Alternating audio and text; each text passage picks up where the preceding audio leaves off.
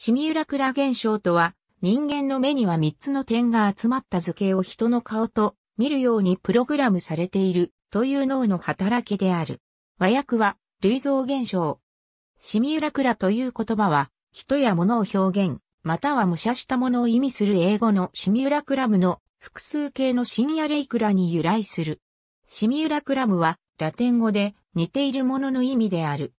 人は他人や動物に出会った場合、敵味方を判断したり、相手の行動、感情などを予測したりする目的で、本能的にまず相手の目を見る習性がある。人や動物の目と口は逆三角形に配置されていることから、点や線などが逆三角形に配置されたものを見ると、脳は顔と判断してしまう。心霊写真と呼ばれる現象の多くが、これで説明できるとされている。